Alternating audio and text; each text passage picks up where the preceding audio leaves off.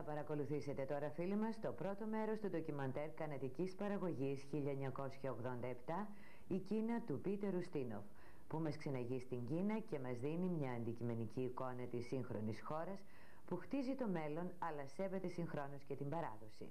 Σκηνοθεσία John McGreevy